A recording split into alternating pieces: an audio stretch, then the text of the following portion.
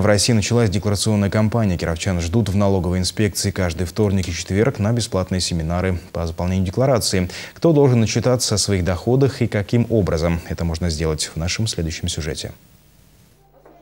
Традиционно должны отчитаться о доходах индивидуальные предприниматели, а также нотариусы, адвокаты, арбитражные управляющие и другие лица, занимающиеся частной практикой. Кроме них еще плюс обязаны предоставить налоговую декларацию физические лица. Это такая основная категория среди всех остальных.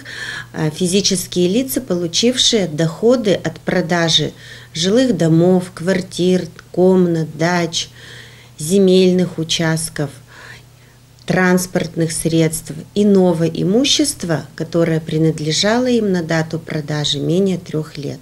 Представить декларацию должны и те, кто сдавал имущество в аренду, а налог с этого дохода не был удержан. Облагаются налогом также некоторые выигрыши, призы, дивиденды. О своих доходах можно отчитаться разными способами. Есть такой старый способ, это как сходить в инспекцию, взять бланки бумажные, мы их, кстати, выдаем бесплатно всем, кто пожелает. И, посидев с документами, со своими справкой 2 НДФЛ, рукой, ручкой заполнить декларацию. Способ старый, но довольно-таки сложный. Декларация на нескольких листах, можно запутаться в заполнении в ручном режиме. Для удобства налогоплательщиков разработана специальная программа, которую можно скачать на сайте Федеральной налоговой службы и установить на своем компьютере.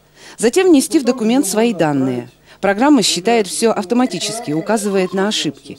Когда декларация будет сформирована, ее нужно распечатать и принести в инспекцию.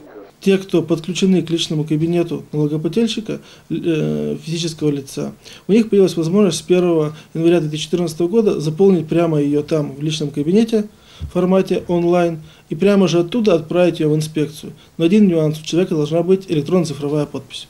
Получить логин и пароль для подключения к сервису можно в любой налоговой инспекции, а электронную цифровую подпись в удостоверяющих центрах, перечень которых тоже есть на сайте налоговой службы. Напомним, что подать налоговую декларацию необходимо не позднее 30 апреля. Валентина Палкина, Игорь Охотников, Вести, Кировская область.